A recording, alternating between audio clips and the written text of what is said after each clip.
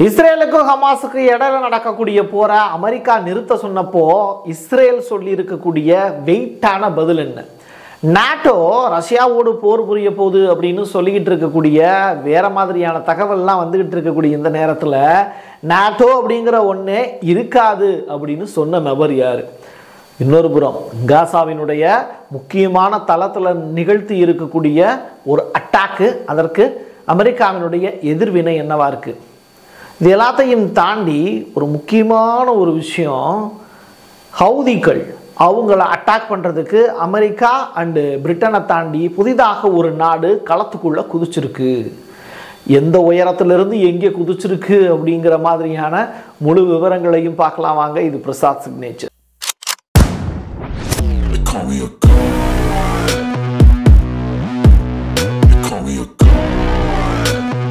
காசாவோட பல்கலைக்கழகத்தின் மீது ஒரு தாக்குதலை நிகழ்த்தியது இஸ்ரேல்.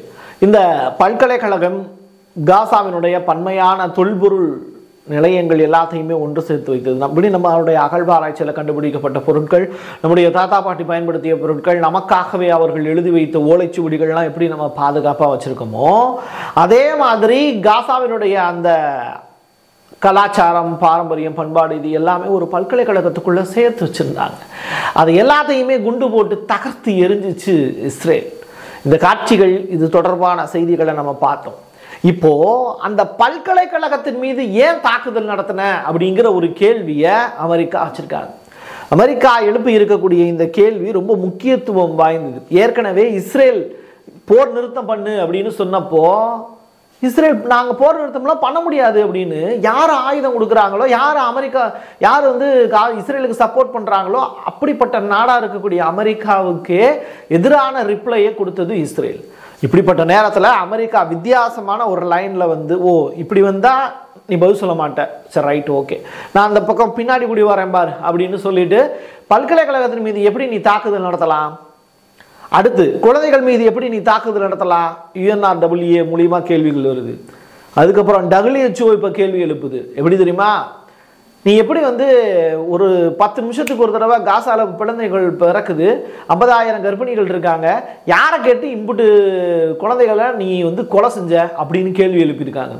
இது நாள் வரைக்கும் எப்படி தெரியுமா அந்த ரிப்போர்ட்லாம் ஃபைல் ஆச்சு? யுஎன்ஆர்டபிள்யூனுடைய கேத்ரின் அவங்க சொல்லியிருக்கக்கூடிய விஷயம் என்னவா தெரியுமா இருந்தது? ஐயோ அங்கே குழந்தைகள்லாம் வந்து இறக்குறத பார்க்கும்போது ஒரு தாயாக எனக்கு வேதனையாக இருக்கிறதுன்னு பதிவு செஞ்சிருந்தாங்க.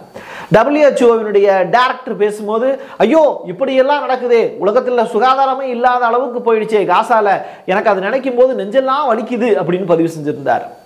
அமெரிக்கா அங்கே நிற்கக்கூடிய சம்பவங்களை பார்க்கும்போது எங்களுக்கும் வருத்தமாக தான் இருக்குது மக்கள் கொள்வது சாகுவதை ஏற்றுக்கொள்ள முடியாது அப்படிங்கிற வார்த்தையை பதிவு செஞ்சுருந்தாங்க. இப்போ அடித்த பெல்ட் எப்படி தெரியுமா இருக்கு? நீ குழந்தைகளுக்காக வருத்தப்பட்டது வந்து யுஎன்ஆர்டபிள்யூ யுஎன்ஆர்டபிள்யூஏ இப்போ எப்படி தெரியுமா கேள்வி கேட்குறாங்க யாரை கேட்டு நீ குழந்தைய கொண்ட அப்படின்னு கேட்குறாங்க டபிள்யூஹெச்ஓ என்ன தெரியுமா சொல்கிறாங்க ஓ காசாவையே சுகாதார கேடாக ஆக்கிக்கிட்டு இருக்கியா? அப்போ நீ இங்கே இருக்கக்கூடிய எல்லா நாடுகளுக்கும் எதிராக செயல்படுற நீ அப்படின்னு சொல்லிட்டு இஸ்ரேலை பார்த்து இப்போ கேள்வி கேட்குறாங்க அமெரிக்கா என்ன தெரியுமா சொல்லுது? ஒரு பல்கலைக்கழகத்தின் மீது படிக்கக்கூடிய பல்கலைக்கழகத்தின் மீது எப்படி நீ தாக்குதல் நடத்துவ? பிரச்சனை மசூதி மீது தாக்குதல் நடத்துனதுலாம் அவங்க கேட்கல மத ரிலேட்டடான விஷயங்களை பற்றி பெருசாக பேசல. நீ ஒரு எஜுகேஷன் இன்ஸ்டிடியூஷன் மீது எப்படி தாக்குதல் நடத்துவ? அது மட்டும் கிடையாது காசாவினுடைய வரலாற்று சின்னத்தை எப்படி நீ அழிப்ப? யாரு? அவர் பேர் என்ன? யாசர் அராபத்தினுடைய நினைவு மண்டபத்தை இடிச்சாங்களே இஸ்ரேலு. அப்போ அமெரிக்கா வாயை புத்திட்டு கம்முன்னு தானே இருந்தாங்க? இப்போ என்ன தெரியுமா கேள்வி கேட்குறாங்க பல்கலைக்கழகத்தில் அவ்வளவு வரலாற்று பொக்கிஷங்கள் இருக்கே நீ இடிச்சிருக்க. அதில் குண்டு போட்டு தாக்குற அதில் ஹமாஸே கிடையாது. யாரை கேட்டு அதில் குண்டு போட்ட? நீ அதுக்கு பதில் சொல்லுன்னு உலகத்தினுடைய நாட்டாமையாக நான் கேட்குறேன்னு அமெரிக்கா சொல்லாமல் கேள்வியாக கேட்டிருக்காங்க. இதுக்கான பதிலை இஸ்ரேல் என்ன பதில் சொல்ல போகுது அப்படிங்கிற பெரும் கேள்வி இருக்குது ஸோ ரிவர்ஸ் அட்டாக் அப்படின்னு சொல்லுவாங்க. அதான் நான் இப்போ குண்டு நான் வந்து எதிர்த்தாப்பில் இருக்கிறவனை பார்த்து துப்பாக்கியை வச்சு சுடுறேன். இந்த துப்பாக்கி இரட்டை குழல் துப்பாக்கியாக இருக்கும். ஒரு புறம் வந்து நான் என்ன சொல்கிறேன் அப்படின்னா நான் சுடும்போது அது ஒற்றை குழல் துப்பாக்கி. உன் பக்கம் வந்து உன்னைய மட்டும் பார்த்து சுடுற மாதிரி இருக்கும். இன்னொரு குண்டு இருக்கு பாரு. அது நான் எப்போ நினைக்கிறேனோ நீ தான் அதை சுட போற. அது உன்னை நோக்கி பாயக்கூடிய துப்பாக்கியாக இருக்கும். அதனால தான் கௌதம் வாசுதேவன் படம் மாதிரி என்னை நோக்கி பாயும் தொட்டா அப்படிங்கிற மாதிரி ஆகிப்போச்சு இஸ்ரேலுடைய நிலைமை. இதுக்கு நீங்கள் பதில் சொல்லியே ஆகணும் இஸ்ரேல் அப்படிங்கிற கேள்விகளை முன் வச்சிருக்காங்க. இதெல்லாத்தையும் தாண்டி போர் நிறுத்தத்துக்கு இஸ்ரேல் நோ சொல்லிருச்சு. அமெரிக்காவுக்கு அது மிகப்பெரிய அளவிலான ஈகோ டச் பண்ணி விட்ட விஷயம். இப்போ ட்ரம்ப் உள்ள என்றானதுக்கு பிறகு நாட்டோ இருக்குமா இருக்காதா? அப்படிங்கிற பெரும் கேள்வி இருக்கு. காரணம் என்ன அப்படின்னா அடுத்த இருபது வருடங்களுக்குள்ள ரஷ்யா மீது நாங்கள் போர் நிறுத்த போக போகிறோம் அப்படின்னு நாட்டோ சொல்லியிருக்கக்கூடிய விஷயம். அதற்கு இன்னொரு புறம் வந்து என்ன தெரியுமா இப்போ பேசிக்கிட்டு இருக்காங்க எல்லாரும்? யோ நாட்டோவே இருக்குமா இல்லாதான்னு பாரப்பா. இருபது இருபத்தஞ்சு நாடுகள் முப்பது நாடுகள் சேர்ந்து ஒன்றா சேர்ந்து நாட்டோ மூட்டி நாடு அப்படின்னு சொல்லிட்டு இப்போ கேள்விகள் கேட்குறாங்க நாட்டோவே அப்படிங்கிற அந்த அமைப்பையே கலைக்கிறதுக்கான வேலைகளை அடுத்து செய்ய போகிறாரு ட்ரம்ப் அப்படின்னு. ஸோ வரக்கூடிய நவம்பருக்கு அப்புறம் மிகப்பெரிய அளவிலான மாற்றங்கள் இந்த வேர்ல்டில் நடக்க போகுது. அது அந்த அந்த ட்ரம்பினுடைய வாய் ரொம்ப அழகான வாய். அது உங்களுக்கே தெரியும். அப்படிப்பட்ட அழகான வாய் அடுத்து என்னென்ன வார்த்தைகள் எல்லாம் உச்சரிக்க போகுது அப்படின்னு பெரிய அளவில் மக்கள் எதிர்பார்த்துக்கிட்டு இருக்காங்க. வாழ்க வளர்க ட்ரம்ப் அப்படின்னு நம்ம சொல்லிக்கிற வேண்டிதான். ஏன்னா இப்போதைக்கு வந்து பார்த்தீங்கன்னா எதிரிக்கு எதிரி நண்பன் அப்படிங்கிறது தான் இப்போதைக்கு இருக்கக்கூடிய சொல்ல வேண்டிய முக்கியமான விஷயங்க. ஏன்னா மறுபடியும் வந்து பைடன் ஜெயிச்சார்னா கண்டினியூ ஆகும். ட்ரம்ப் ஜெயிச்சா என்ன ஆகும் அப்படிங்கிறத கமலா சொல்லியிருக்காங்க. அது என்னங்கிறத நம்ம ஏற்ற வீடியோலேயே பார்த்துருக்கோம். அதை நீங்கள் பார்த்து தெரிஞ்சுக்கோங்க. ரெண்டாயிரத்தி இருபத்தி நாலுடைய டாப் டென் பொருளாதாரத்தில் மேம்பட்ட நாடுகள் என்னென்ன அப்படின்னு சொல்லிட்டு பட்டியலை வெளியிட்டிருக்கு ஃபோப்ஸ் அப்படிங்கிற அந்த பத்திரிகை. என்ன சொல்லியிருக்காங்க தெரியுமா? இருபத்தி ஆறு புள்ளி ஒன்பது ஐந்து லட்சம் கோடி ரூபாயில் அமெரிக்கா டாப்பில் இருக்குது ஜிடிபியில் அந்த ஜிடிபி அப்படிங்கிறது உங்களுக்கு என்னன்னு தெரியும். மொத்த சந்தை மதிப்பினுடைய அளவீடு தான் இதில் வந்து ரெண்டாவதாக இருக்கக்கூடிய நாடு வந்து சைனா மூணாவது இருக்கக்கூடிய நாடு வந்து பார்த்தீங்கன்னா ஜெர்மன் நாலாவது இருக்கக்கூடிய நாடு ஜப்பான் இதில் ஐந்தாவது இடத்துல இருக்கு நமது இந்தியா. அந்த வகையில் இதுக்கு முன்னாடி வந்து ஜிடிபியினுடைய அடிப்படையில் ஒட்டுமொத்த இந்தியாவினுடைய அந்த கட்டமைப்பு அப்படின்னு பார்க்கும்போது பதினோராவது இடத்துல இருந்தது நமது இந்தியா. இப்போ எங்கே வந்துருச்சு? டேரெக்டாக ஐந்தாவது இடத்துக்கு முன்னேறி இருக்கு. உலகத்தினுடைய வல்லரசு நாங்கள் தாங்கோ அப்படின்னு கத்துக்கிட்டு இருக்கக்கூடிய நாடுகள்லாம் ஓடி போயிடுச்சு. வளரக்கூடிய நாடுகளுக்கு நீங்களாம் எல்லாம் பின்னோக்கி போங்க. வளர்ந்த நாடுகள் பட்டியலில் இந்தியா முன்னோக்கி வந்துகிட்டு இருக்கு அப்படிங்கிறத சத்தம் போட்டு சொல்ல வேண்டிய தேவை இருக்கு. இதுக்கு காரணம் என்ன தெரியுமா? அடுத்து உலகத்தில் போர் வந்தது அப்படின்னா அணிசேரா நாடுகளுடைய பட்டியலில் முக்கியமான டிசிஷன் எடுக்கக்கூடிய இடத்துல யார் இருக்கான்னு கேட்டால் நமது இந்தியா தான் இருக்குது அந்த வகையில் அடுத்து எலெக்ஷன் அப்படிங்கிறது வந்து பார்த்தீங்கன்னா ரஷ்யாவில் வந்து அவர் தான் அதிபர் அப்படின்னு சொல்லிட்டாங்க. இப்போ ராமர் கோயில் திறந்ததற்கு பிறகு மோடி தான் அதிபர் அப்படின்னு. மோடி தான் அதிபர்னா என்ன? ஒட்டுமொத்தமாக அதிபராக தன்னை அறிவிக்கிறதுக்கான வாய்ப்பு கூட மோடி கிட்ட இருக்குது அப்படிப்பட்ட ஒரு பெரிய சாம்ராஜ்யத்தை உருவாக்கிட்டு இருக்காரு. ஆர்எஸ்எஸ் எதிராக களமிறங்கக்கூடிய வேலையை செஞ்சுக்கிட்டு இருக்காரு அப்படிங்கிற மாதிரியான தகவலை வெளியாகிட்டு இருக்கு. இதை உண்மையாக பொய்யா அப்படிங்கிறத தாண்டி யார் ஓட்டு போடுறாங்களோ மக்கள்கிட்ட தான் கேட்கணும். யாரை தேர்ந்தெடுக்க போகிறாங்கன்னு இது ஒரு புறம் இருக்க. அந்த அஞ்சுக்கு பிறகு வந்து சொல்லியிருக்கக்கூடிய விஷயம் Britain France Italy Brazil Canada அப்படின்னு சொல்லிட்டு வரிசைப்படுத்துறாங்க ஃபோர்ப்ஸ் பத்திரிகை. மொத்தமாக பத்து நாடுகளை வந்து வரிசைப்படுத்திருக்காங்க இதில் கனடாவுக்கு பத்தாவது இடத்தை கொடுத்துருக்காங்க. இது ஒரு புறமா அந்த பலிகிஸ்தான் அப்படிங்கிற ஒரு இடம் அந்த இடத்துல வந்து உங்களுக்கே தெரியும் இந்த ரெண்டு டிஃப்ரெண்ட் டைப் ஆஃப் குரூப்ஸ் ஒன்று ஈரானில் இருக்குது இன்னொன்று பலிகிஸ்தான் அப்படிங்கிற ஏரியாவில் இருக்குது இது வந்து ஈரானு ஈரானுக்கு பார்டர்லையும் பாகிஸ்தானுடைய எல்லை பகுதியில் இருக்கக்கூடிய மிக முக்கியமான இடம். அப்படிப்பட்ட இடத்துல வந்து ஒரு கோல்டு வார் உருவாயிருக்கு அப்படிங்கிற ஒரு விஷயத்தை பதிவு செஞ்சுருக்காங்க. இந்த கோல்டு வார்னால யாருக்கு என்ன நட்டம் அப்படின்னு சொல்லி பார்க்கும்போது யாருக்கு என்ன லாபம் அப்படிங்கிற ஒரு பெரும் கேள்வி எழுப்புறாங்க. நட்டமானது யாருன்னு பார்த்தீங்கன்னா சீனா. லாபம் அடைந்தது யாருன்னு பார்த்தீங்கன்னா இந்தியா. அந்த வகையில் ஈரானுக்கும் பாகிஸ்தானுக்கும் இடையில போர் நடக்கும்போது பாகிஸ்தானுக்கு பெரிய அளவில் அடி உழுகும். அதில் லாபம் பாடுறது பார்க்குறது பார்த்தீங்கன்னா இந்தியா தான் லாபம் பார்க்கும். இப்படிப்பட்ட நிலையில் ஆனால் ஈரானும் பாகிஸ்தானும் இருவேறு சகோதரர்கள் அப்படிங்கிற அடிப்படையில் ரெண்டு பேரும் சத்தம் இல்லாமல் போயிடுவாங்க. ரெண்டு தீவிரவாத குழுக்களுக்கு இடையில வந்து அவங்களுடைய பஞ்சாயத்தை அவங்களே முடிச்சுப்பாங்க அப்படிங்கிற மாதிரியான விஷயங்கள்லாம் வெளியாகுது. ஸோ இரண்டு நட்பு நாடுகளுமே வெவ்வேறு நபர்களை தாக்கி தான் வந்து இந்த போரை நடத்தியிருக்காங்களே தவிர டேரக்டாக நாடுகளுக்கு இடையில இருக்கக்கூடிய போராக இது பார்க்க முடியாது அப்படிங்கிறதோட அந்த சப்ஜெக்டை க்ளோஸ் பண்ணிடலாம். அடுத்ததாக பி தேர்ட்டி ஃபைவ் மிசைல் இந்த மிசைல் வந்து பார்த்தீங்கன்னா அஞ்சு டன்னுக்கு அளவுக்கு வெயிட் உடையது. சரி இது எதுக்கு இப்போ சொல்கிற அப்படிங்கிற கேள்வி நீங்கள் கேட்கலாம். ரஷ்யா வந்து உக்ரைன் மீது தாக்குதல் நடத்துறதுக்காக இதை பயன்படுத்தியிருக்கு. அப்படி என்ன இந்த மிசைலில் ஸ்பெஷல் அப்படின்னா ஆயிரத்தி தொள்ளாயிரத்தி ஐம்பதில் உருவாக்கின மிசைல் ரஷ்யா உருவாக்கின மிசைல் இப்போ அது உக்ரைன் மீது அட்டாக் படுத்தியிருக்காங்க. அது மட்டும் கிடையாது ரஷ்யாவினுடைய ஆயுதங்கள் ஏகப்பட்டதை வந்து இடையில உக்ரைன் வந்து டேமேஜ் பண்ணியிருந்தாங்க. அது மட்டும் கிடையாது இந்த ரஷ்யாவினுடைய அதிபர் புடின் வந்து பார்த்தீங்கன்னா இப்படிப்பட்ட நேரத்தில் வந்து நான் என்னுடைய ஐம்பது வருஷத்துக்கு எழுபது வருஷத்துக்கு முன்னாடி இருக்கக்கூடிய ஆயுதத்தை இன்னமும் பத்திரமா வச்சிருக்கேன் பாடுறா அப்படின்னு சொல்லிட்டு நானூறு மீ கிலோமீட்டர் தாண்டி வந்து போய் அட்டாக் பண்ணக்கூடிய அந்த மிசைலை வந்து இப்போ பயன்படுத்தியிருக்காரு அப்படிங்கும்போது உலகத்துக்கே அச்சுறுத்தலாக ஒரு செய்தியை அவர் சொல்றாரு. மீண்டும் சோவியத் ரஷ்யாவினுடைய காலகட்டத்தில் பயன்படுத்திய ஒரு மிசைலை இப்போ அவர் பயன்படுத்துகிறாருன்னா மறுபடியும் அந்த பனிரெண்டு சிதைந்து போன நாடுகள் எல்லாத்தையும் ஒன்று சேர்த்து மீண்டும் ஒரு சோவியத் ரஷ்யாவை கட்டமைத்து அதிபர் நாற்காரையில் அட்டகாசமாக உட்கார போறேன் அப்படிங்கிறது தான் ரஷ்யாவினுடைய பிளான் இப்படிப்பட்ட நிலையில நேட்டோவை உடைக்கிறதுக்கான வேலையை ட்ரம்ப் செய்வாரா அப்படிங்கிற பெரும் கேள்விக்குள்ளேயும் நம்ம பயணப்பட தேவை வேண்டிய தேவை இருக்கு. அடுத்ததாக அமெரிக்க மக்கள் யாரை தேர்ந்தெடுக்க போறாங்க அப்படிங்கிற அடிப்படையாக வச்சு தான் நாட்டோ இருக்குமா இருக்காதா அப்படிங்கிற அந்த வார்த்தைக்கான அர்த்தம் தெரியும். எதுக்கு நீ நேட்டோவை பத்தி பேசுற? எதுக்கு நீ ரஷ்யாவை பத்தி பேசுற? இஸ்ரேலுக்கும் காசாவுக்கும் இடையில இருக்கக்கூடிய பிரச்சனையை பேசு அப்படின்னு கேட்டா இங்கே இஸ்ரேலுக்கும் காசாவுக்கும் இடையில இருக்கக்கூடிய பிரச்சனைக்கு தீவிரமான காரணமே இஸ்ரேலான்னு கேட்டால் கிடையாது. இங்கே அமெரிக்கா தான் பிரச்சனை. அப்போ அமெரிக்காவில் யார் அடுத்த அதிபராக வரப்போகிறார்கள்? நாட்டோ இருக்குமா இருக்காதா அப்படிங்கிறத நம்ம தெரிஞ்சுக்கிட்டா மட்டும்தான் இஸ் ஃப்ரீ பாலஸ்தீன் அப்படிங்கிற அந்த ஒரு விடயம் அமைவதற்கான வாய்ப்பு இருக்கு இல்லை அப்படிங்கிறது முழுமையான விவரங்கள் நமக்கு தெரிய வரும். அந்த வகையில் அமெரிக்காவினுடைய அந்த மாடு அப்படின்னு சொன்னோம்னு வச்சுக்கவே அதுக்கு மூக்கணாங்கயிறு போடுறோம்ல அப்படிப்பட்ட மூக்கணாங்கயிறு தான் ஆட்சி மாற்றம் அப்படிங்கிறது. அப்படிப்பட்ட ஆட்சி மாற்றம் வரும்போது வித்தியாசமான மனிதர்கள் வினோதமான சில செயல்களில் ஈடுபடுவாங்க. அது அமெரிக்காவுக்கு நெகட்டிவாக போய் ரஷ்யாவுக்கு பாசிட்டிவாக போனது அப்படின்னா ஃப்ரீ பாலஸ்தீன் அப்படிங்கிற அந்த எல்லைக்கோட்டை எட்டுவது அப்படிங்கிறது எளிமையான ஒரு விடயமாக இருக்கும். ஏன்னா ரஷ்யாவுக்கு கடந்த கால வரலாறுகள் தெரியும். அது மட்டுமல்ல அவர் யாருக்கு ஆதரவானவர் அப்படிங்கிற விடயமும் இருக்குது இங்கே இஸ்ரேலு வந்து டேரெக்டாக வந்து நேட்டோ படைகள் என்ற என்ட்ராகி காசாவுக்குள்ள அட்டாக் பண்ணிக்கிட்டு இருக்காங்க அப்படிங்கிற அந்த சத்தமே இல்லாத விடயங்கள் எல்லாத்தையும் தொடர்ந்து பிரசாந்த் சிக்னேச்சர் அங்கிருந்து கிடைக்கக்கூடிய செய்தியாளர்களிடமிருந்து கிடைக்கக்கூடிய தகவல் அடிப்படையில் அல் ஜசீராவினுடைய அங்க இருக்கக்கூடிய செய்தியாளர்கள் கொடுக்கக்கூடிய தகவல் அடிப்படையில் நம்ம தொடர்ந்து உண்மையான செய்திகளை பதிவிட்டு வந்து கொண்டு இருக்கிறோம் அப்படிங்கிறது தான்.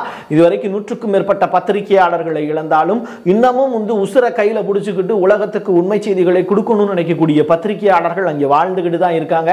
அப்படிப்பட்ட உண்மையான பத்திரிகையாளர்களுக்கு சல்யூட் அடிக்கிறது பிரசாத் சிக்னேச்சர் இது ஒரு புறம் இருக்க? பிரிட்டனுடைய இந்த ஸ்பை மிசைன் மிசைல் வந்து பார்த்தீங்கன்னா காசால வட்டமிட்டுக்கிட்டே இருக்குது அப்படிங்கிறாங்க.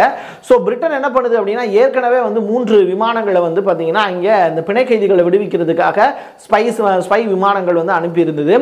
அது எப்படி கண்டுபிடிக்க முடியும்னு எனக்கு தெரியல பட் வந்து அந்த மாதிரியான ஸ்பை விமானங்கள் அனுப்புறது மூலிமா என்ன பிரயோஜனம் அப்படிங்கிறத பிரிட்டன் இன்ன வரைக்கும் சொல்லவே இல்லை. அவங்க அந்த ஸ்பை மெட்டீரியலில் என்ன மாதிரியான விஷயங்கள்லாம் வச்சுருக்காங்க எப்படி அதை கண்டுபிடிக்கிறதுக்கான ஆயத்த பணிகள் செய்கிறாங்க அப்படிங்கிறது தெரியல. ஆனால் ஹமாஸ் இன்ன வரைக்கும் பிரிட்டனுடைய அந்த ஸ்பை விமானங்களை அட்டாக் பண்ணாமல் இருக்கிறதுக்கு பின்னாடி என்ன காரணம் இருக்கு அப்படிங்கிறத நம்மளால் புரிஞ்சுக்க முடியுது அப்படின்னா எந்த இடத்துல இருந்து ஆயுதங்கள் வந்தது அப்படிங்கிறத அங்க இருக்கக்கூடிய அந்த இப்போ நம்ம விமானத்தில் கருப்பு பெட்டின்னு சொல்கிறோம்ல அதன் மூலியமா அந்த விமானத்தை யார் ஏன்னா அந்த ஆள் இல்லாத விமானம் அந்த விமானத்தை யார் எய்கிறாங்களோ அவங்களுக்கு அந்த சிக்னல் போயிருங்கிறதுனால தான் தொடர்ந்து காசாவினுடைய வான்வெளியில் பறந்துகிட்டு இருக்கக்கூடிய அந்த மூணு ஸ்பை விமானங்களையும் இன்ன வரைக்கும் சுட்டு வீழ்த்தப்படாமல் இருக்கிறது அப்படிங்கிற செய்தியும் சொல்ல வேண்டியது இருக்கு. பிணை கைதிகளுடைய விடுதலையில புதிய ஒப்பந்தங்களை நோக்கி நகரணும் அப்படிங்கிற கோரிக்கையை வலியுறுத்தி இஸ்ரேல் மக்கள் வந்து பார்த்தீங்கன்னா டெல்லவைவில் நெதன்யாகுவினுடைய அலுவலகத்துக்கு வெளியிலையும் வீடுகளுக்கு வெளியிலையும் வந்து போராட்டம் பண்ணிட்டு இருக்காங்க. உங்களால் முடியலன்னா வீட்டுக்கு போயா எதுக்கியா இங்கேயே உட்காந்துருக்கு அப்படின்னு சொல்லிட்டு இருக்கக்கூடிய அந்த மக்களை நோக்கி நெதன்யாகு சைட்லேருந்து சொல்லக்கூடிய விஷயங்கிறது இன்னும் கொஞ்ச நாளில் பதவி வகிச்சுட்டு சந்தோஷமாக போயிடுறேன். ஏற்கனவே என்னை பற்றி நெகட்டிவ் விமர்சனங்கள்லாம் நிறையா வந்துருச்சு. இனிமேல் எனக்கு எதுவும் அப்படிப்பட்ட ஒரு நிகழ்வுகள் நடக்கிறதுக்கு எனக்கு வாய்ப்பு இல்லை அதனால் இருக்கிற வரைக்கும் இங்கே ஹாப்பியாக என்ன செய்யணுமோ அதை செஞ்சுட்டு போயிடுறேன். ஏன்னா ஜியோனிஸ்டனுடைய சப்போர்ட் எனக்கு இருக்கு அப்படிங்கிற அடிப்படையில் நெதன்யாகவும் விளையாண்டுகிட்டு இருக்காருங்கிறது தான் தகவல். ஹவுதிகளுடைய ஸ்போக் பர்சன் அப்துல் சலாம் அப்படிங்கிற நபர் வந்து மக்கள் போராட்டத்தை இங்கே முன்னெடுத்திருக்காரு. ஒட்டுமொத்த ஏமன் மக்களுமே இந்த ஹவுதி புரட்சியாளர்களுக்கு ஆதரவாகவும் ஹவுதி பழங்குடிகளுக்கு ஆதரவாகவும் களமிறங்கியிருக்காங்க. வடக்கு ஏமனை தாண்டி அடுத்த தெற்கு ஏமனிலே அவங்க ஆட்சியை பிடிப்பதற்கான வாய்ப்புகள் இருக்கு அப்படின்னு சொல்லப்படுது.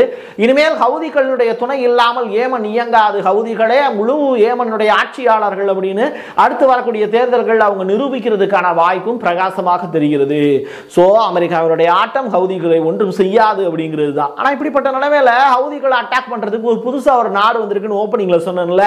அந்த நாட்டினுடைய பெயர் என்ன அப்படின்னா பெல்ஜியம் அப்படிங்கிற அந்த கண்ட்ரி அந்த கண்ட்ரி உள்ள என்ட்ராகி அந்த ஹவுதிகளை அட்டாக் பண்றதுக்கு யூகேக்கும் யூஎஸுக்கும் ஒரு பெரிய வழி ஏற்படுத்தி கொடுத்துருக்கு. அது மட்டும் இல்லாமல் ஆயுதங்களையும் சப்ளை பண்ணியிருக்கு. ராணுவ வீரர்களையும் அனுப்பிச்சிருக்காங்க அப்படிங்கிற செய்தி புதிதாக முளைத்திருக்கிறது. இன்னொரு புறம் என்ன அப்படின்னா இந்த சவுதி அரேபியா அப்படிங்கிற அந்த நாடு வந்து தனித்துவமாக இயங்கிக்கிட்டு இருக்கு. அது மட்டும் கிடையாது ஹமாஸுக்கு ஆயுதங்கள் கொடுத்து உதவுறதுலையும் சவுதி அரேபியாவினுடைய பங்கு அப்படிங்கிறது பண வர்த்தகத்தின் மூலியமாக உதவி செய்து கொண்டிருக்கிறது அப்படிங்கிற தகவலை சில நபர்கள் வந்து நம்மக்கிட்ட பதிவு செய்கிறாங்க இது உண்மையா பொய்யா அப்படிங்கிறத தாண்டி உதவிக்கரம் நீட்டக்கூடிய நல்ல நபர்களை இஸ்மாயில் ஹனி அவர்கள் ஏற்கனவே வரவேற்றிருந்தார்.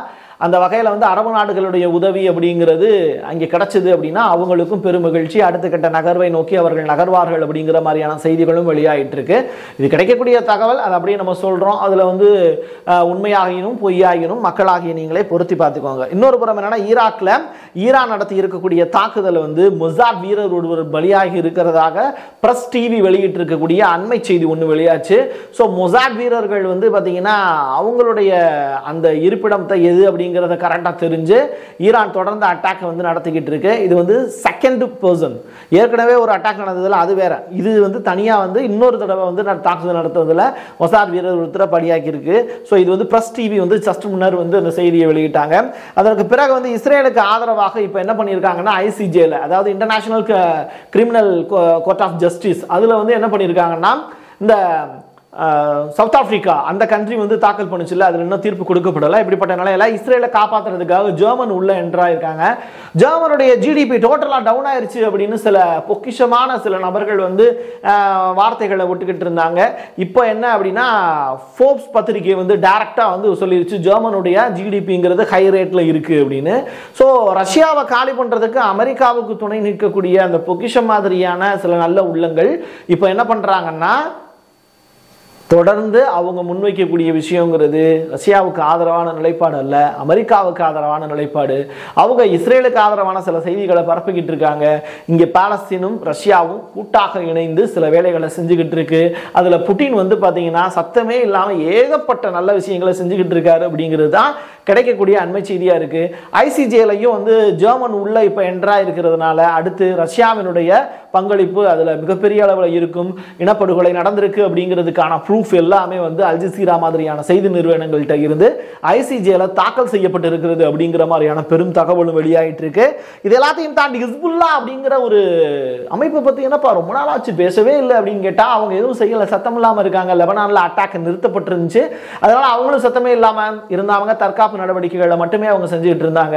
என் தாக்குதல் நடத்தினீங்கன்னா திருப்பி அடிப்பேன் அப்படிங்கிறது மட்டும்தான். சிரியாவை தாண்டி லெபனானை கடந்து தொடர்ந்து வந்து இஸ்ரேல் எல்லாரையும் அம்பு கெடுத்துச்சு ஆனால் இப்படிப்பட்ட சூழ்நிலையில் இஸ்புல்லா மறுபடியும் தனது தாக்குதலை நடத்தி இருக்கு number two commander Naim Qassem அவர் வெளியிட்டிருக்கக்கூடிய தகவல் அடிப்படையில் மீண்டும் இஸ்ரேல் மீது போர் தொடுக்கிறதுக்கான வாய்ப்புகள் பிரகாசமாக இருக்கிறது.